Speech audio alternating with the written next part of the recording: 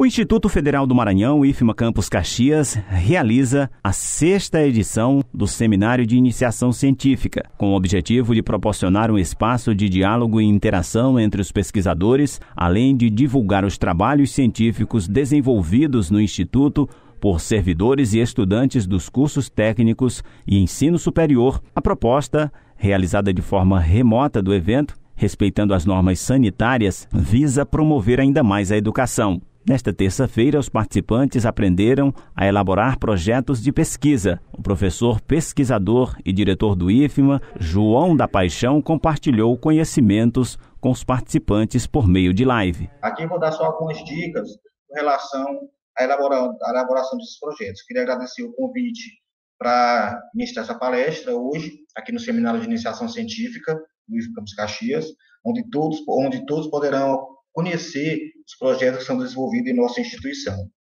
Então, o ciclo de vida de um projeto, a gente tem que, inicialmente, que fazer um planejamento.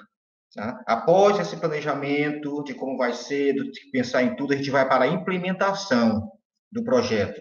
Após aprovado por alguma instituição de fomento, enfim. Aí vem o monitoramento, monitoramento desse projeto, e por último, vem avaliação.